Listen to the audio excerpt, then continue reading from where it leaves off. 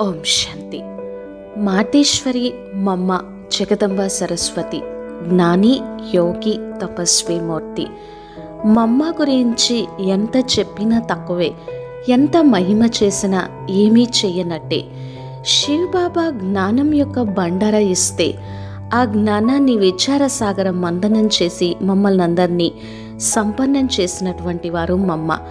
ప్రాక్టికల్గా తమ జీవితం లోపల దాన్ని ఫాలో చేసి ధారణ చేసినటువంటి దివ్య గుణాల మూర్తి మమ్మ శక్తి స్వరూప్ని గుణదాయిని మమత యొక్క మూర్తి మమ్మ. ఎప్పుడూ జ్ఞానంతోనూ యోగంతోనూ నిండుగా ఉండేటువంటి వారు మమ్మ అని జగదీష్ పాయేసి తనకున్నటువంటి అనుభవాన్ని చెప్తున్నారు. మాతేశ్వరి విశ్వంలోనే ఒక విలువైనటువంటి వ్యక్తిత్వం కలిగినటువంటి వారు. జగదీష్ పై మమ్మ యొక్క సంబంధంలో తమ అనుభవాన్ని వినిపిస్తూ మమ్మ ఎంతో ప్రేమ గుణం కలిగినటువంటి వారు. మమ్మ ఎంతో పాలన ప్రేమ ఇచ్చారు. ఆమె వ్యక్తిత్వము చాలా ప్రభావశాలిగా ఉండేది. బాబా నుంచి లభించినటువంటి శిక్షణలన్నింటినీ కూడా ధారణ చేసి చూపించారు. ఆమె మనస్సులో అందరి పట్ల కూడా చాలా సద్భావన ప్రేమ నాకు ఎప్పుడూ కనిపించేది.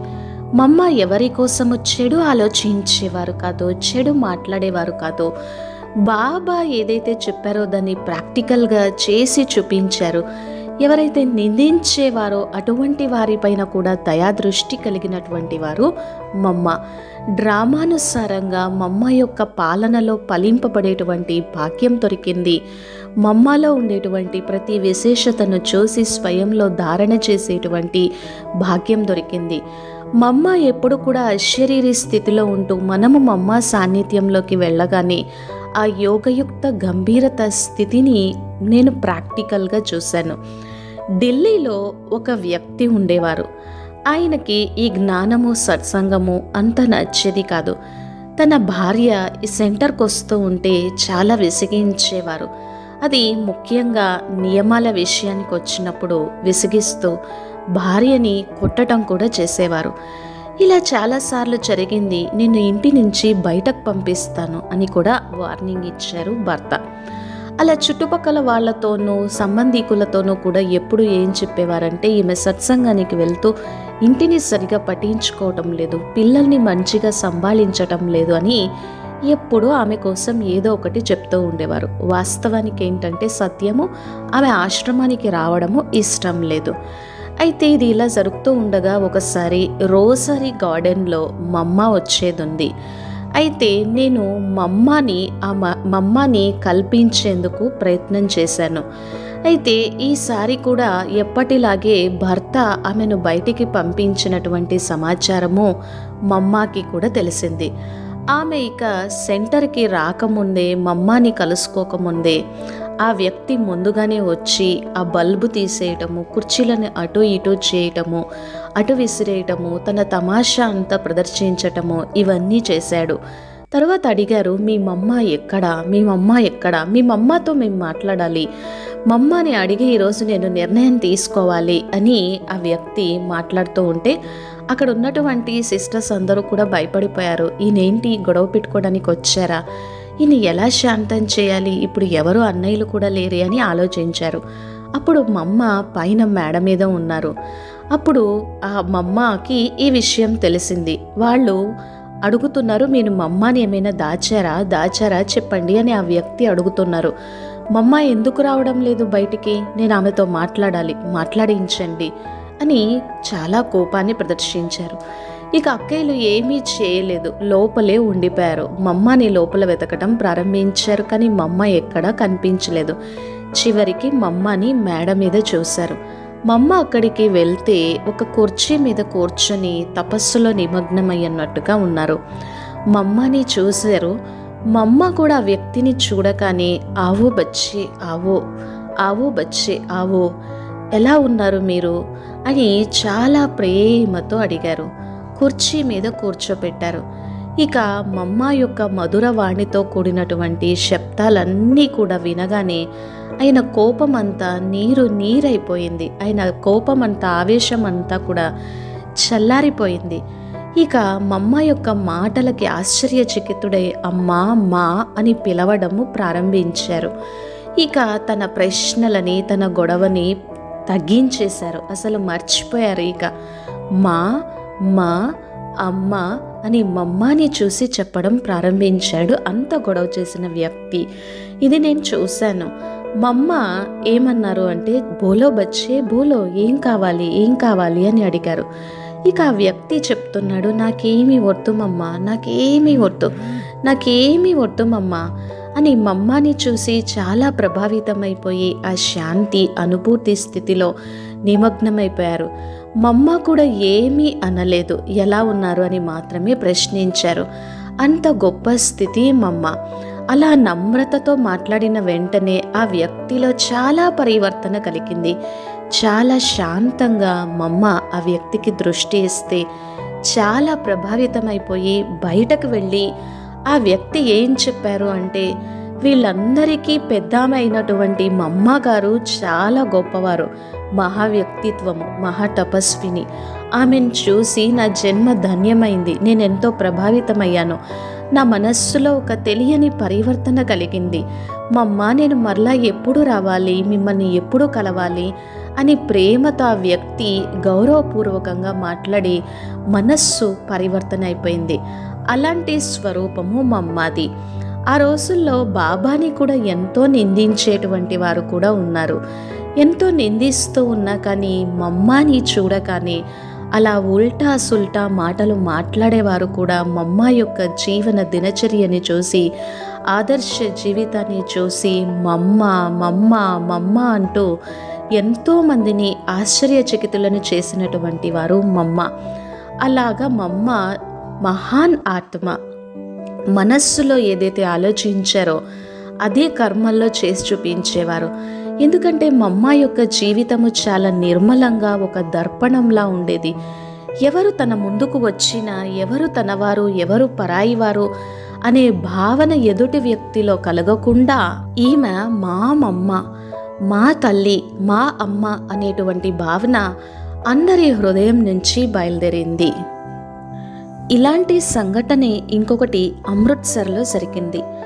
అమృత్సర్లో కూడా కొంచెం గొడవైంది. చాలామంది విరోధించారు. అక్కడ ఒక పెద్ద గ్రూప్ అంతా కూడా కలిసిపోయారు.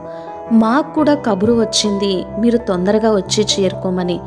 అప్పుడు నేను మరియు బ్రుస్ మోహన్ బాయి యొక్క పితాజీ ఇద్దరం కలిసి అక్కడికి మేము ఉదయం ఉదయాన్నే చేరుకున్నాము. యోగం సమయము పాట ప్లే చేశారు.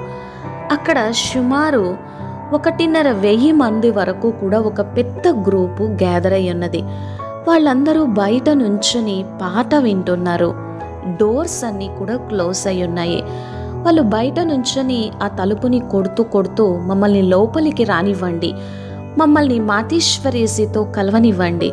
బెహెన్స్ మమ్మల్ని లోపలికి రానివ్వండి అని అడుగుతున్నారు. కానీ అక్కడ ఉన్నటువంటి సిస్టర్స్ ఏమో తలుపులు తీయటం లేదు. చివరికి ఏం జరిగింది అంటే అందరూ కలవడం వలన ఆ తలుపుని ఓపెన్ చేసేశారు. ఆ తలుపుని కట్ చేసేశారు. ఇక బెహెన్స్ చేసేదేం లేక మాతేశ్వరి మమ్మాజీ ఇప్పుడు మీతో కలవలేరు అని అన్నారు. వాళ్ళందరూ చాలా అప్సెట్ అయ్యారు.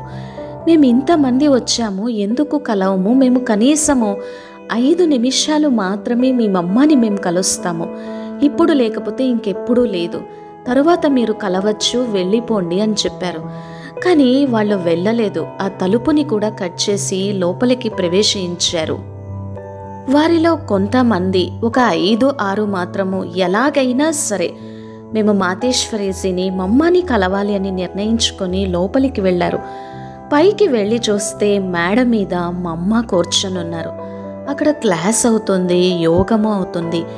మా అమ్మ యోగయుక్త స్థితిలో చాలా డీప్ సైలెన్స్లో ఉన్నారు. ఎలాంటి అలసడి కానీ టెన్షన్ కానీ చింత కానీ మూడఫ్ కానీ భయము కానీ మమ్మలో కనిపించలేదు. ఆనందములో బాబాతో యోగం చేస్తూ ఉన్నారు. మమ్మ యొక్క యోగయుక్త స్థితిని చూసి ఆ వచ్చినటువంటి వారు కూడా ఆ డీప్ పీస్ని ఎక్స్పీరియన్స్ చేసుకున్నారు. వాళ్ళలో కూడా ఎలాంటి జోష్ కానీ ఆవేశం కానీ లేదు. వాళ్ళు మా అమ్మ ఎదురుగా వెళ్ళి కూర్చొని చాలా ధార్మిక భావనతో మా అమ్మని చూస్తూ ఉన్నారు. మా అమ్మ ధ్యానంలో అలా ఉండిపోయారు. మా అమ్మని చూస్తూ ఉన్నారు. తరువాత కనులు తెరిచారు. చాలా స్థిరంగా మా అమ్మ ఉన్నారు. ఒక గొప్ప ఆనందాన్ని తీసుకున్నారు. మొత్తం రూమ్ అంతా కూడా శాంతి శక్తి యొక్క ప్రకంపనాలతో నిండిపోయింది. వారికి చూస్తే ఈమె సాక్షాత్తు పవిత్రత దేవి కమల పుష్ప సమాన్గా కమల నివాసిగా విద్యాదాయిగా ఒక్కొక్కరికి ఒక్కొక్క రకంగా అనుభవం చేయించారు మమ్మ. వారు కొంచెం సేపే కూర్చున్నారు కానీ మమ్మ యొక్క కనుల నుంచి వచ్చేటువంటి ఆ దృష్టిని తీసుకుంటూ మమ్మ నేత్రాలలో ఉన్నటువంటి ఆ ప్రకాశాన్ని చూస్తూ ఏదో ప్రకాశమే ప్రకాశము లైటే లైట్. మమ్మ నలువైపులా ఒక ప్రకాశంతో కూడినటువంటి దివ్య శక్తి వ్యాపించినట్లుగా అనిపించింది. ఇంత గొప్ప సాధన శక్తి అనిపించింది వారికి. ఇదంతా చూసిన తర్వాత వాళ్ళు ఇక ఏది అడగాలనుకున్నానో అది అడగలేదు. చాలా ప్రశాంతంగా శాంతి శక్తితో శీతలంగా అయిపోయి మమ్మ మమ్మ అని వాళ్ళు పిలవటం ప్రారంభించారు. వారికి కూడా ఏం అర్థం కాలేదు మేము ఎందుకు ఇంత సైలెన్స్ అయిపోయాము? అనేది. వారికి స్వయం అనిపించింది ఈ ధ్వని ప్రపంచం నుంచి మేమేదో అసాధారణ శక్తి దగ్గర ఉన్నాము అనేటువంటి భావన ఒక మహాన్ వ్యక్తిత్వం దగ్గర ఉన్నాము అనేటువంటి భావన కలిగింది. ఆ వచ్చినటువంటి వారు తమ శత్రుత్వాన్ని మరచిపోయి చాలా సంతోషంతో కిందికి వెళ్ళిపోయి వీళ్ళ మమ్మ ఎంత గొప్పది ఎంత యోగి ఎంత త్యాగి అని మమ్మని మహిమ చేయడం ప్రారంభించారు. ఇలా ఒకటి కాదు రెండు కాదు మమ్మ ఎన్నో చేసి చూపించారు. మమ్మ తీవ్ర పురుషార్థి. ఒకసారి చేసినటువంటి పొరపాటుని ఇంకెప్పుడూ కూడా చేసేవారు కాదు. బాబా చేత ఒక్కసారి మాత్రమే చెప్పించుకునేటువంటి వారు. అలా మమ్మ ఎంతో గొప్ప యోగయుక్త స్థితిలో ఉండేటువంటి వారు. అలా బాబా ఇచ్చినటువంటి ధారణలతోనూ శిక్షణలతోనూ దృఢ నిశ్చయంతో తన సంస్కార పరివర్తన చేసుకున్నటువంటి మహాశక్తి మమ్మ.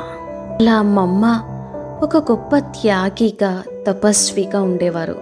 పవిత్రత యొక్క స్వరూపము ఘోర తపస్సు బాబా పట్ల అచంచలమైనటువంటి విశ్వాసము ఆమె ముఖమండలాన్ని చూస్తే ఆ పవిత్రత యొక్క ఓరా వైబ్రేషన్స్ కనిపించేవి.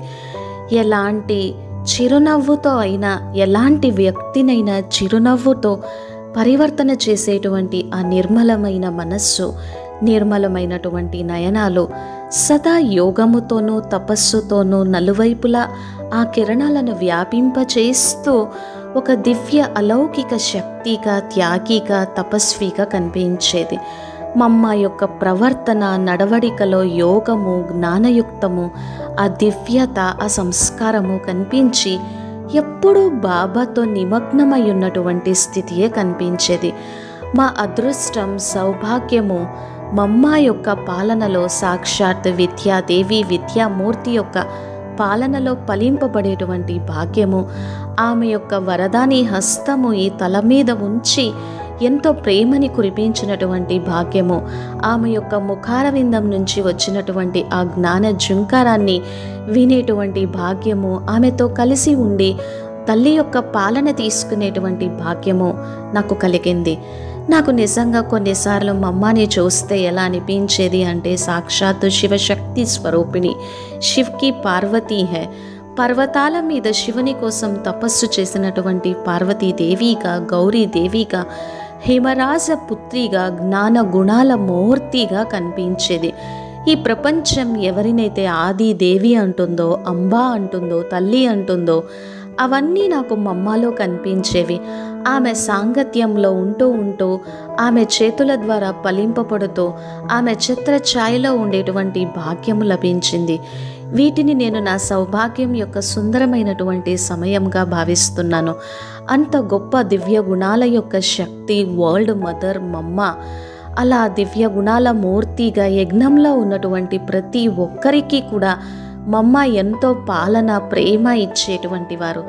ఎన్నో విఘ్నాలను కూడా ఎదుర్కొన్నారు. వాటన్నింటినీ కూడా ఒక గొప్ప విఘ్న వినాశక స్థితిలో ఉండి మమ్మ ఎంతో గొప్ప చేసి సేవ చేశారు. ఇలా మమ్మ ప్రతి ఒక్కరిని ఎంతో ప్రేమ భావనతో చూసేటువంటి వారు ప్రతి ఒక్కరూ కూడా ఎన్ని చిక్కు ప్రశ్నలు వేసినప్పటికీ మమ్మ ఎంతో గౌరవంతో ప్రేమతో సహనంతో సమాధానాలు ఇచ్చేటువంటి వారు. ప్రతి ఒక్కరిని మీరు మీరు అని సంబోధించేటువంటి వారు. ఇలా మమ్మ యొక్క గొప్ప దివ్య అలౌకిక తపస్వి యోగయుక్త స్థితిని మేము మా కనులతో చూసాము ఓం శాంతి.